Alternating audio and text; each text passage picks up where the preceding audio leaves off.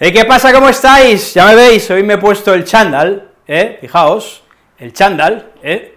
Y estamos listos para ver una lección sobre vocabulario avanzado, ejercicio físico, ¿eh? Ejercicio físico, ¿vale, chicos? Chicas, Spanish from Spain, ¿eh? Ahí vamos.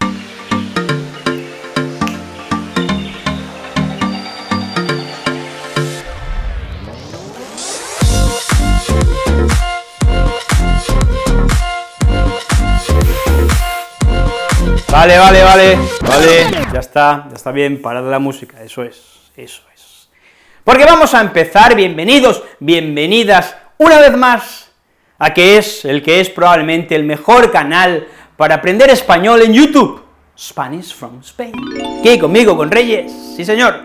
Así que si estáis viendo, si me estáis viendo en vuestros móviles, por ejemplo, ¿no?, me podéis ver en vuestros móviles, o también me podéis ver en la tablet, ¿verdad?, en la tableta, vuestra tableta, ¿no?, que se dice en castellano. Y ahora que lo pienso, también me podéis ver desde vuestro ordenador, desde vuestro computador, ¿no?, porque también, ¿vale?, yo, por ejemplo, veo las cosas en el computador, o incluso, incluso, podríais verme en la tele, ¿a que sí?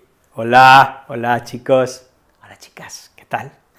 La primera palabra, primera palabra, primer concepto relacionado con el ejercicio físico que vamos a aprender es estar, utilizamos el verbo estar definido, estar definido, cuando una persona no está, no tiene mucho volumen, no pesa mucho, pero sus músculos están definidos, están marcados, pues está en forma, ¿vale? Decimos que está definido. Rollo Bruce Lee, ya me entendéis, ¿eh? Bruce Lee. Sí señor, rollo Bruce Lee, ¿eh? Bruce Lee es el arquetipo por excelencia de persona definida. Tiene un músculo que no es muy voluminoso, no está hinchado, pero está muy definido, muy marcado, se ven todas sus venas, se ven todos sus músculos. Estar definido, pues. El siguiente concepto que os voy a enseñar es coloquial y es estar hecho un figurín. ¿Eh? Ojo, ¿eh? porque este este concepto, que tenéis que empezar a utilizar ya por otro lado, es un concepto coloquial y es, bueno, le va a dar un toque a vuestro español muy, ¿sabes?, muy natural, ¿eh? muy espontáneo. Estar hecho un figurín, estamos hechos un figurín, por ejemplo, ¿no?, yo tengo un, me sobran algunos kilos, voy al gimnasio, me pongo en forma y me encuentro con un amigo que hace tiempo que no me ve, y me dice, Reyes, macho, qué delgado que estás, estás hecho un figurín, ¿eh? es decir, tenemos una figura esbelta, estilizada, estamos hechos un figurín, o está hecha un figurín. Una forma elegante de decir quedarse hecho un figurín, o estar definido, aunque estar definido sí que hay un matiz de, bueno, pues estar bastante en forma, ¿no?, mientras que estar hecho un figurín es estar delgado, esbelto, ¿no?, ser, pues, como un modelo, ¿no?, por ejemplo, una modelo, ¿no?, Vale, bien, pues tenemos una expresión, un vocabulario más culto, ¿eh? y podemos decir cincelar. Cincelar es lo que hace un artista cuando hace una escultura, golpea con un martillo y un cincel. El cincel es lo que va erosionando, sacando astillas, ¿eh? si se me permite la expresión, de la roca, ¿vale?, o del mármol. Entonces, cincela, me va quitando partes. Si tú cincelas tu cuerpo, amigo, amiga, vas al gimnasio y lo cincelas, es que, bueno, te estás poniendo en forma, estás, quieres quedarte hecho un figurín, lo que haces es cincelar, cincelar tu cuerpo, una expresión que es lo mismo que estar hecho un figurín, eh, es la acción, vaya, porque hablamos de un verbo, no es un estado, pero, eso sí, es más culto, vas a quedar muy guay, eh, este tío, joder, vaya, vaya tela, ¿no?, qué lenguaje, ¿no?, qué, qué vocabulario domina. Cincelar tu cuerpo, ideal para el DLC2. Ahora, otra cosa os diré, ¿eh? yo creo que el deporte está un poquito sobrevalorado, ¿vale? Está todo el mundo loco ahora, ¿no?, con hacer deporte. Bueno, el deporte no es tan bueno como parece.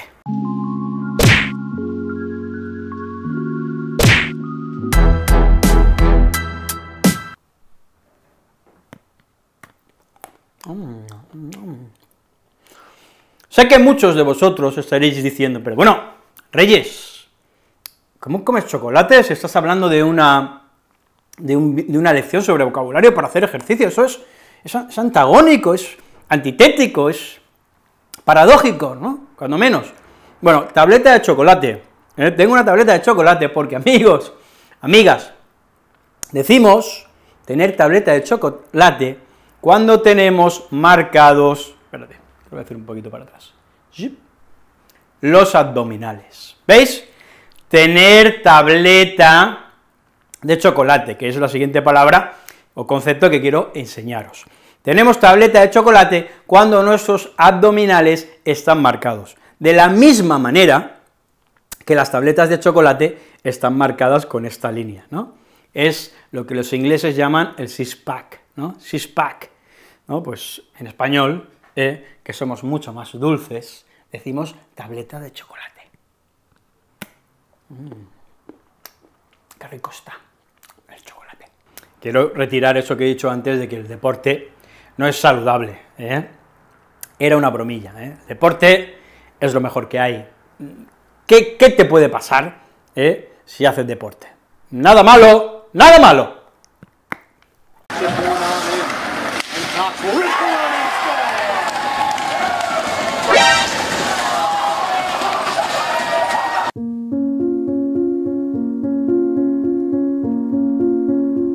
Después de un periodo de tiempo en el que, seguido, en el que entrenamos, lo que va a ocurrir es que vamos a ganar músculo, ¿sí?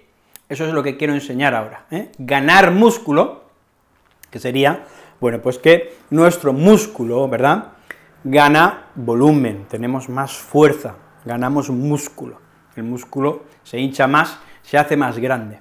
O también podemos ganar fortaleza, si hacemos mucho deporte, lo que hacemos es ganar fortaleza, es decir, ganamos fuerza. Estos dos conceptos quiero que queden claros. Ganar músculo, el músculo es, bueno, pues esa parte de nuestro cuerpo que se hincha y está más dura, o ganar fortaleza, que es en general lo que ocurre cuando hacemos mucho deporte. Todavía hay una manera más de decir ganar músculo o ganar fuerza, que es lo que os voy a enseñar ahora, y es ganar masa muscular, un concepto muy extendido en todos los gimnasios españoles, y en las personas que hacen deporte, ejercicio, que tienen una rutina física en los gimnasios. Cuando hacen mucho eh, deporte en el gimnasio, ganan masa muscular, es ganar músculo, ¿vale? También podemos decir masa muscular. Fijaos, ¿eh? tres maneras de decirlo ni más ni menos, porque yo lo que quiero es que tengáis un vocabulario amplio, es que tengáis un vocabulario rico.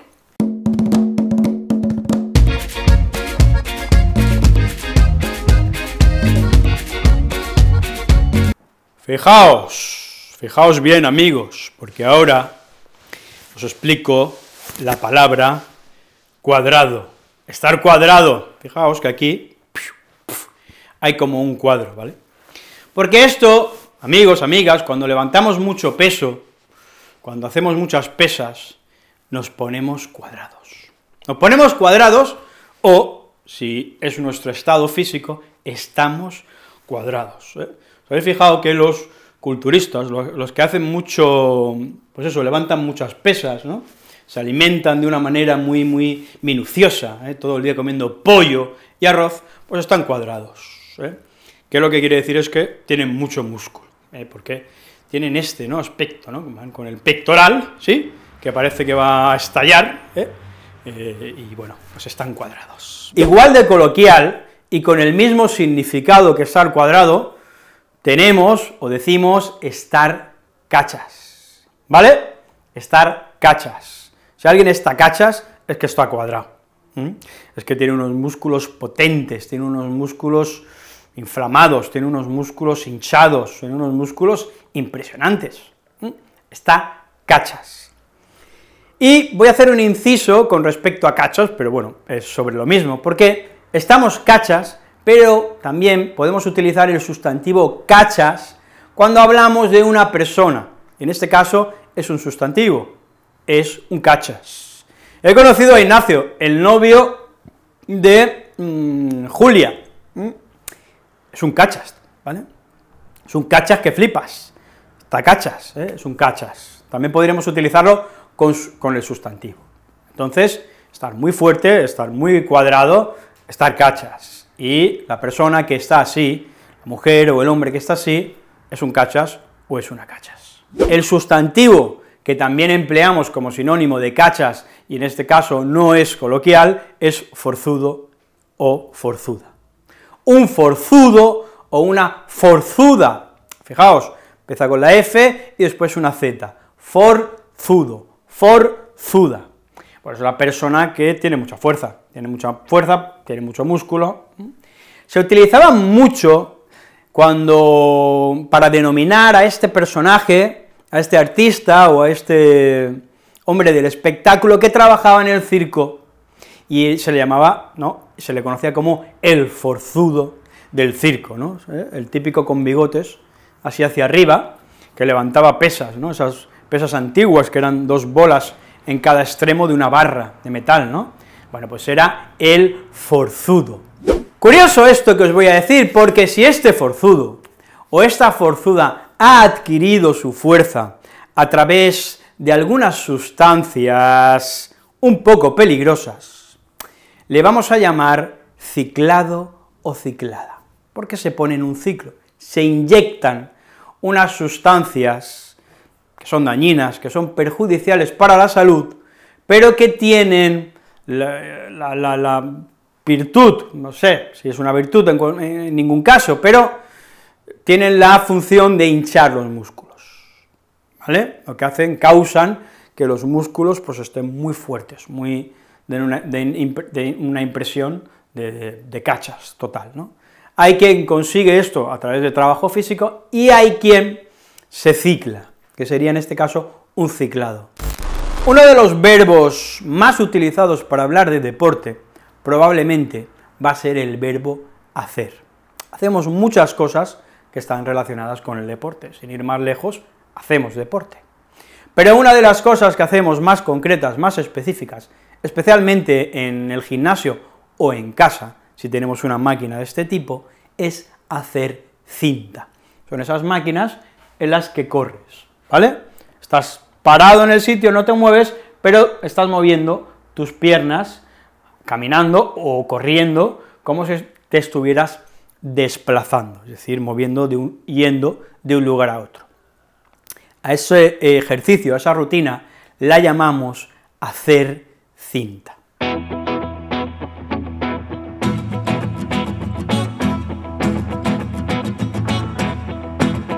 Bien, pues esta rutina es hacer remo, es otra cosa que podemos también hacer en el gimnasio. Tenemos un aparato en el que, bueno, cogemos dos barras con las manos, ¿no?, y las vamos moviendo como si estuviéramos remando, como si estuviéramos en un barco. Y a eso también, utilizando el verbo hacer, lo vamos a denominar como hacer remo.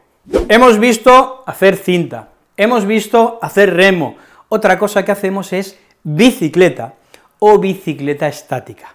Son estas bicicletas que no se mueven, ¿vale?, están en su sitio, no tienen ruedas, de hecho, o las ruedas que tienen no están, no apoyan sobre el suelo, y nosotros movemos los pedales, ¿vale?, movemos nuestras piernas y, bueno, pues hacemos un ejercicio aeróbico.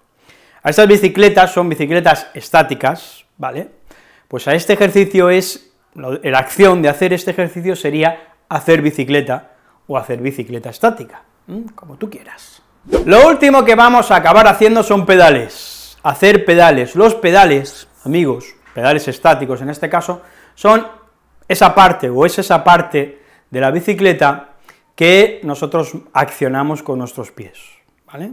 Hacemos así con los pies, sube y baja, bueno, esos son pedales. Y también ¿eh? en algunos gimnasios hay este tipo de pedales, ¿vale? O estos pedales que se mueven así hacia arriba o hacia abajo, este ejercicio sería hacer pedales. Y ahora que estamos con los pedales, ahora que estamos con las bicicletas, os enseño una palabra nueva relacionada con este deporte, el de la bicicleta, y es pedalear. Si teníamos los pedales, que son es la parte de la bicicleta que nosotros empujamos, los pedales, a la acción de hacer eso la llamamos pedalear, ¿vale? Sencillo, ¿no? De pedal, pedalear, de pedales en plural, pedalear, pues eso, mover los pedales en una bicicleta. Vamos a dejar de hacer tanto deporte, porque al final me va a dar un calambre. ¡Vaya! Calambre, ¿eh? ¿Qué es un calambre? Un calambre es una contracción que se da cuando hacemos mucho deporte, o estamos un poco desestrenados, desentrenados, ¿vale?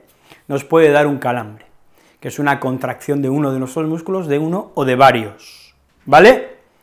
Palabra que también quiero que sepáis, relacionada con los efectos del deporte, calambre. ¿Sabes que me da miedo el deporte ese de las espadas? El grima. No, no, más bien es miedo.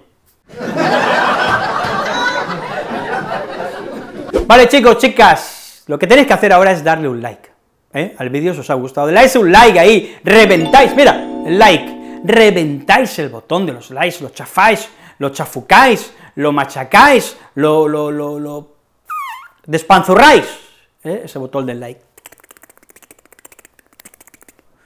Nada, que tengáis una semana estupenda, la vida puede ser maravillosa, claro que sí. Muchos besos.